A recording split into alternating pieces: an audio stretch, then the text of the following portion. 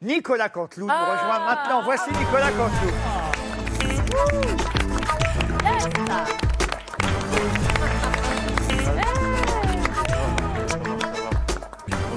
Ça me permet, le temps que Nicolas s'installe, de saluer. euh, On a parlé évidemment d'Élodie Gossuin et de Marc-Antoine Lebré, mais de saluer euh, Princesse Jade aussi qui accompagne euh, Laurent Gérard tous les matins sur RTL. Bienvenue, Nicolas. Merci, merci. Je suis ravi d'être là pour, pour Julie, qui, Ah, est, c'est sympa. qui est notre reine à Europe 1. C'est Une belle surprise. autant d'années de reine que, que la reine d'Angleterre. Elle veut, elle veut pas lâcher le trône. Ah, Stéphane Bern est là aussi alors. C'est- et- et- et- et c'est- non, parce que je pensais que vous alliez faire Stéphane Non. Bern un peu plus longtemps. Non, non, Oui. non. En fait, je, il y a- non, Ah oui, je sais pas, je m'aperçois que je sais pas faire Julie.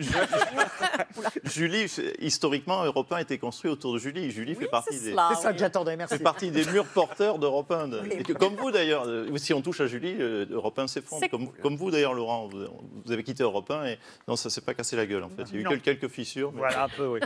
C'est gentil, merci Nicolas. Merci en tout cas d'être passé ici. Il y a beaucoup de gens de radio que vous imitez euh, sur ce plateau.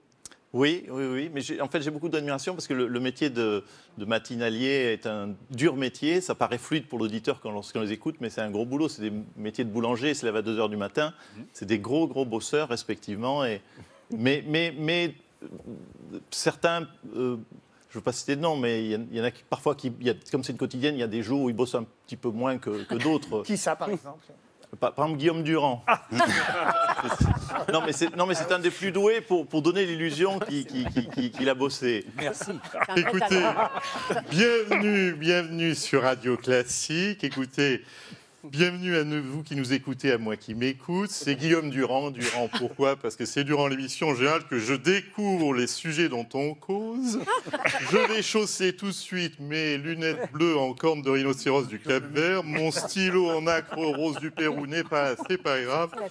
Nous allons attaquer tout de suite. Excusez-moi, j'ai une petite remontée de risotto, mon cher risotto au tru, parce qu'on a fêté la réouverture des restaurants Coste un petit peu en avant. C'est pas grave, vous allez enchaîner, mon cher Laurent, c'est à vous. Euh, Vous défendez euh, votre copain de Radio Classique, Christian Morin. Vous êtes toujours sur Radio Classique tous les Euh, matins. toujours depuis 12 ans. Après maintenant. Franck Ferrand. 11 ans, après Franck Ferrand, effectivement, et avant Laurence Ferrari.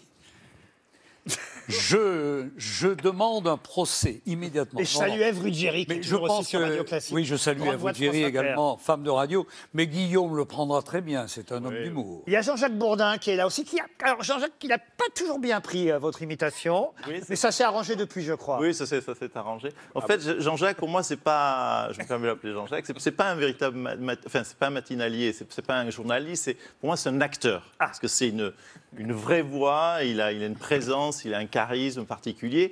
Et ce qui lui permet quelques, quelques facilités, c'est-à-dire que il peut- c'est un gros bosseur, on est d'accord, mais il peut arriver, ça peut arriver, il a un souci sur le périphérique, il peut arriver trois minutes avant l'antenne, et il va s'approprier le sujet comme s'il avait bossé toute la nuit. Et, et il a un truc pour ça, c'est la technique du, du perroquet, c'est-à-dire qu'il va reprendre à son compte ce que vient de dire sa chroniqueuse, par exemple, euh, chroniqueuse qui va parler d'économie en disant qu'il y a la bourse de Tokyo qui s'effondrait, la chute du Nikkei dans la nuit, etc.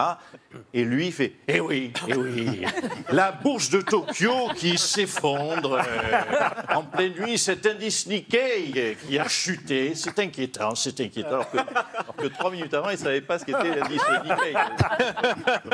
C'est un vrai talent. Ça vous fait rire, Jean-Jacques, maintenant? Oui. Bon, Ça, ça Non, non, mais, non, mais, non, non, mais c'est vrai qu'à un moment donné, ça m'avait un peu exaspéré. Mais, mais après, on en a parlé, et puis, et puis j'ai trouvé ça formidable.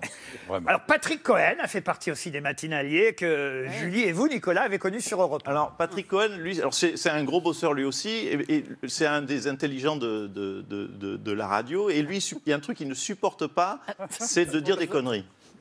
Il ne supporte pas. Donc, il, a mis, il s'est instauré, il s'est, il s'est, il s'est auto, auto-limité en termes de vitesse de débit du temps de parole. De, de- de parole. Il, Ah oui. il est comme un limitateur de vitesse sur les bagnoles. Il, il a trouvé des onomatopées pour ralentir son rythme. Donc, ça donne. Donc, euh, Patrick Cohen. ah, ah, c'est bien foutu. Donc aujourd'hui, Julie euh, Leclerc, euh, vous êtes à, à- à, la voix d'Europe 1. euh, Julie Leclerc, quid à- de la euh, voix, quid de la femme derrière cet outil qui est à, euh, à- la radio. euh, Il va être content. Pascal Pro rigole pas trop parce qu'il se dit ça va être mon tour.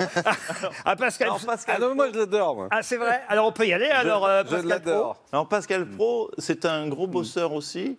Euh, vous avez vu, je sais me mettre dans la poche. C'est un gros bosseur. Mais alors, non, en fait, c'est pas. Non, il- c'est- en fait, il fait surtout bosser l'auditeur, puisqu'il donne la parole à, Ah oui. à l'auditeur. Voilà, donc c'est eux qui bossent et du coup il peut faire des, heures d'antenne puisque lui au rebond il prépare rien, c'est l'auditeur qui parle et il rebondit. Et il, est, très, c'est très très malin sa technique. Je l'ai longuement étudié. En fait, il est toujours d'accord avec l'auditeur, mais pas très longtemps. Il a un côté bipolaire.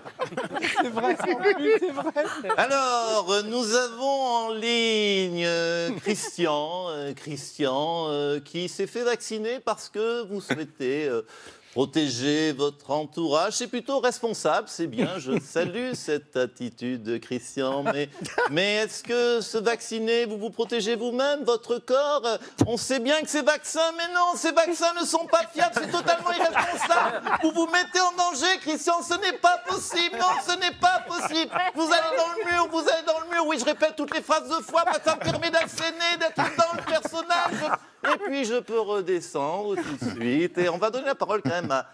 Parce qu'il faut que toutes les opinions soient exprimées. Nous allons, parler, nous allons donner la parole à Laurent Geoffrin, euh, ex-directeur de la rédaction de Libération. Laurent Geoffrin, on est ravis que vous soyez sur ce plateau. En revanche, je ne vous donnerai pas la parole. Mais non, mais parce qu'on les connaît, les gens de gauche, on vous donne ça, vous prenez ça. C'est insupportable, vous gardez la parole, vous la monopolisez, ce n'est pas possible. Voilà, un petit texto de Daniel Guichard qui nous dit Les gens de gauche, je les emmerde. Il y a toujours un peu de poésie chez Daniel Guichard, c'est ça qu'on l'aime, on l'embrasse, à bientôt. Mais ça c'est- le signe du succès Pascal Pro. Vous êtes d'accord? Et oui, quoi. C'est à peine caricatural, bien évidemment. Chacun l'aura compris. Bon Julien Courbet se planque un peu parce qu'il sait que vous imitez euh, aussi Julien. Ouais, je me planque pas. Euh, je- Moi, je peux pas l'écouter quand il le fait parce que j'écoute mon ami euh, Calvi pour essayer de savoir ce de quoi on va parler quand on. Mais on m'en parle systématiquement. Il a parlé de toi, donc. euh, ouais. Alors Julien, lui, c'est c'est- gros bosseur hein, également. Ah non, est-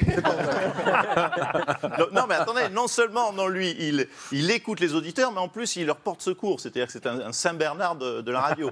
C'est un gros bosseur, mais c'est d'ailleurs c'est lui qui a inventé le télétravail puisqu'il règle tous les problèmes par téléphone. Mais il arrive à une limite, c'est la limite technique du, du téléphone. Donc nous avons en ligne Gisèle. Gisèle, nous allons, vous avez un problème de joint de culasse. Nous allons appeler tout de suite ce journaliste, ce garagiste qui est dans le Gard. Il s'appelle Christian. Nous sommes en ligne avec Christian. Christian, vous m'entendez, Christian? On essaye de joindre Christian. Christian, vous m'entendez? Gisèle, on s'est occupé de vous, Gisèle. Bon, apparemment, nous n'avons pas Christian. Écoutez, en tout cas, cela confirme notre devis. Ce n'est pas parce qu'on n'a servi à rien qu'on ne sera pas capable d'être inutile la prochaine fois. Merci Julien Courbet. Et puis, évidemment, Marc-Olivier Fogiel, même s'il n'est plus à l'antenne aujourd'hui, a longtemps été à l'antenne, effectivement, et sur RTL, Et ensemble. et, sur France Ensemble. Inter, mais aussi sur Europe 1, voilà, avec Julie et vous, Nicolas. Oui, oui, c'était des, des très belles années. Des belles années. Alors, lui, lui, c'est, c'est son, son truc, c'est, l'interview. Oui. euh, il, a, il lâche rien. Et alors, il a une technique particulière, c'est qu'il garde les, les clés du studio. C'est-à-dire, tant que l'invité n'a pas répondu, il ne, il ne- il ne lâche pas. Euh, c'est- alors, bon, vous, êtes, euh, vous êtes la bonne robe, on le sait tous. Julie, je vais te tutoyer parce qu'on se tutoie, c'est vrai. Alors, Julie, il va falloir répondre. Je ne vais pas te lâcher. Avec qui tu as préféré travailler? Avec moi Avec euh, Laurent Ruquier Avec Jacques Pradel Avec Nico Sagas Avec Mathieu Béliard? Il faut répondre. Mais là, c'est c'est maintenant ou jamais. C'est ton moment. Mais tu ne vais pas te lâcher, je te préviens. Il faut que tu accouches, il faut que tu le dises. ça, va être douloureux. Je ne fais pas de péridurale. Ça va arriver tout de suite. hein. Allez, c'est parti. On va pas attendre 150 ans de plus. Tu seras plus là. Quoique. Alors, vous pouvez répondre à, à Marc-Olivier Il a Fogiel c'était lui. Ah ben voilà pourquoi il pose Voilà. la question, c'est malin, hein, bravo. gentil, c'est gentil. On peut applaudir Nicolas Cantu pour cette performance.